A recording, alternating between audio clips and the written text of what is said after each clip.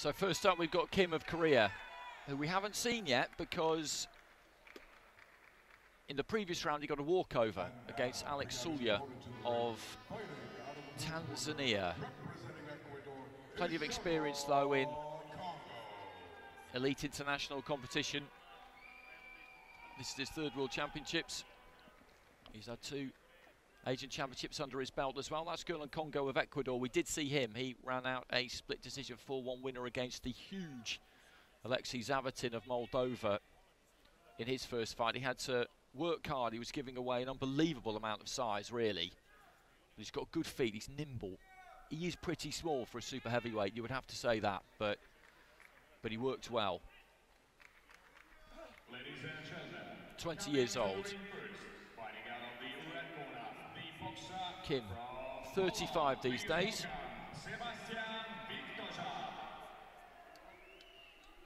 So a big age gap between the pair of them.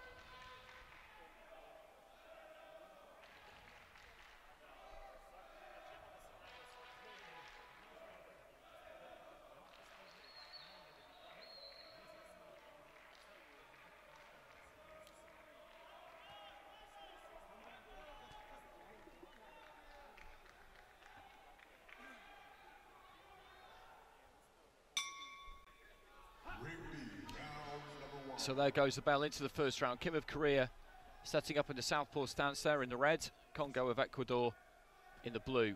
Orthodox. Quite different physically, these two. Very, very solid look about Kim. Congo, as I said, for a super heavyweight, is agile. He's in good, good shape. You can see that there. Nothing on him, really. For someone in this top division.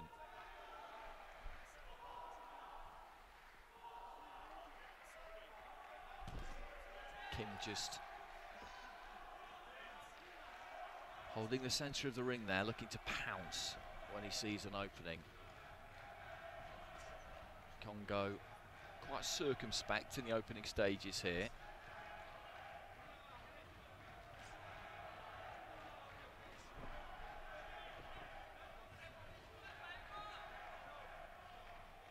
Minute down. Nothing really landed just yet. Leads off with a big hook there, Kim. Extravagant step there from Congo, then set the right hand down the middle, landed that, but Kim came back with a, a left straight down the centre. In that kind of situation where they're in that sort of clinch, Kim needs to try and get on top of Congo a bit, just show him who's stronger, grab him and see if he can walk him back to the ropes and just throw him around a bit. As much as the referee will allow anyway. One two to the body there from the Korean.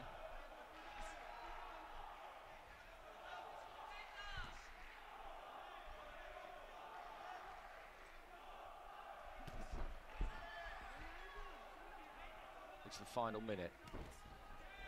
Left hand only kind of half got through there, and both of them just raising their gloves for no particular reason. Left hand, big left hand up from the waist, and I think that might just have clipped the top of the head there of Congo. The the bigger, cleaner punches have come from Kim in this round so far.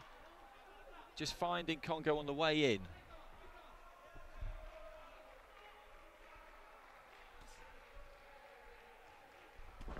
Congo's jabbing the gloves. He's got to keep Kim turning and moving. That's what he did well against Kataev. Kataev was was a huge opponent, physically different to Kim, tall and just massive. And he kept him turning, kept him moving, came in with that jab from the outside, got back out again. Now, Kim has got much quicker hands, but he isn't the fastest on his feet, you wouldn't say.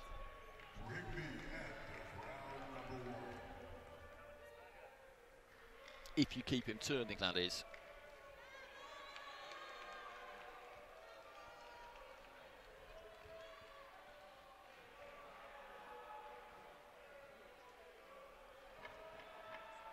Congo gets it with four out of the five judges there.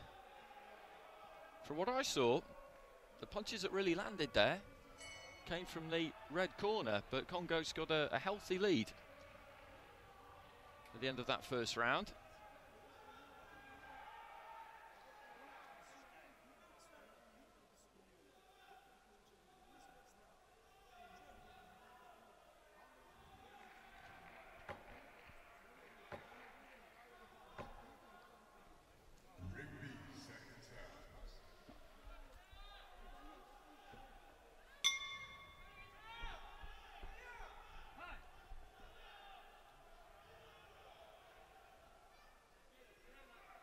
Bit of ice just straying onto the canvas there. The referee kicks it out. So into the second round. Kim needs this round now. 4 1 down after the first.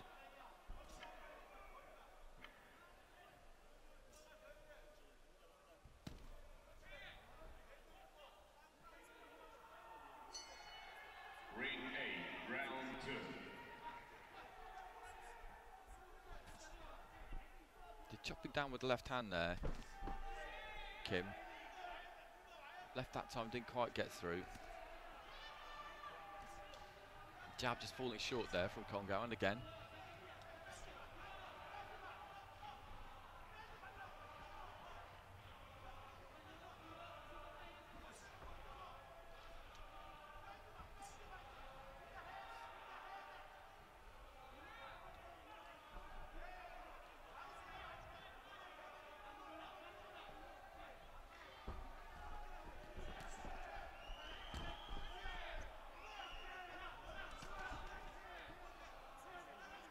Almost coming together on the inside there as they both came forward.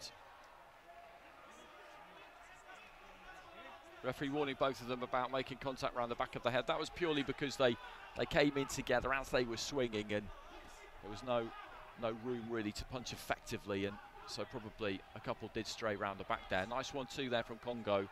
Good distance on that. Kim with his one two but didn't didn't make contact with that one. The gloves for Congo did their job. Looks for the uppercut. Fighter from Ecuador, and Kim steps in with that long left hand again. That's what he looks to throw most of the time. Does it again there. The weight just came forward a little bit over the top of the front foot, and he lunged in slightly. Better balance about the second one. Congo, I think, just sunk into the ropes and managed to stay out of the way of it.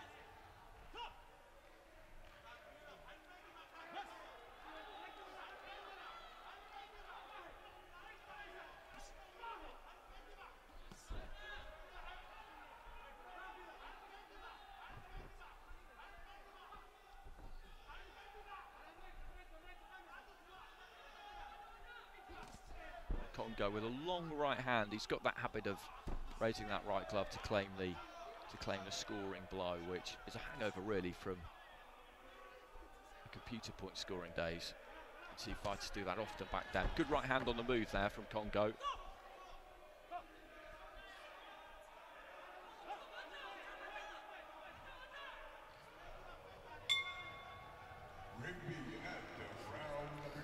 Kim raises his glove as he goes back to the corner. I thought that was I thought that was a Congo round this time around. He picked his punches pretty well, stayed out of the way of, of Kim for the most part. Split scoring, the Indian judge going for Kim, the other four going for Congo. We've got three scores of 20 points to 18 in favour of Congo and two of 19 apiece. So he's in control of this one and Kim will need 10 eights in this in this final round to turn this around. If he manages to land something big, you never know. You never know at super heavyweight. It really can turn around in a split second. We say that about about boxing generally, and and of course it is true of any fight, but particularly in this division. You do really just need to land one and everything can change and that's what he's got to do here, Kim. Kim of Korea in red, Congo, Ecuador in the blue. This Kim's first fight of the tournament after a walkover against Alex Sawer of Tanzania in the previous round. Congo, meanwhile, got a win over the man mountain Alexei Zavatin of Moldova.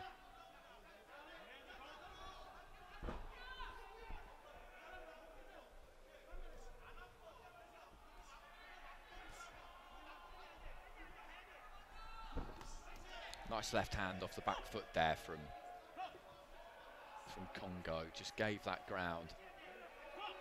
Clipped Kim on the way in.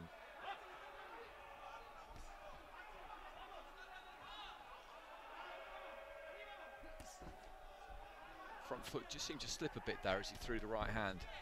Congo, Kim with the one two, the left hand. Just sunk into the midriff, possibly landed. Minute gone in round three, just stooping into the jab, almost there. The fighter in red and Congo happy to use the outside of the ring here, as he has been at regular intervals in this one so far.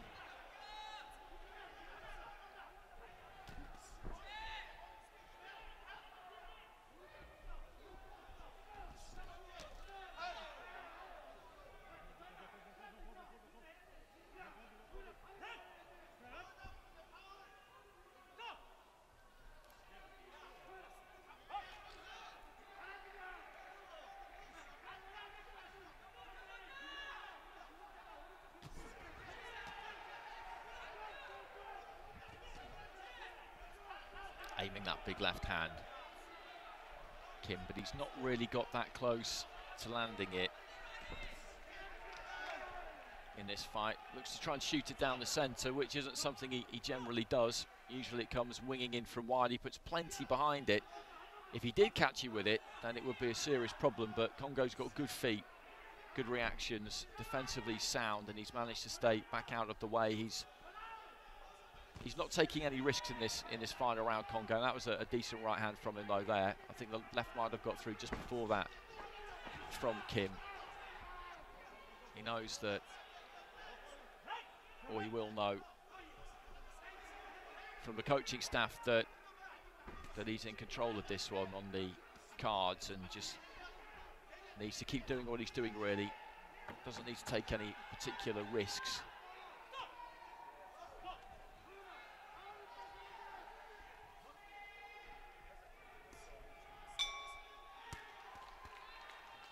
So there goes the final bell. Kim feels that he's got it. Unfortunately for him, he hasn't.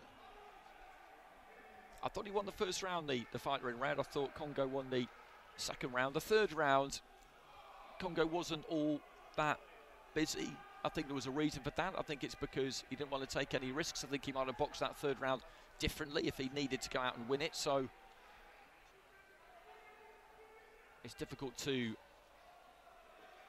to come to any kind of firm opinion on that, if if that makes sense. But we know that Congo had a two-point lead with three of the judges going into the third and final round, and there's there's no way that Kim's got got 10-8s in that final round. So it's the fighter in the blue corner who is going to go through.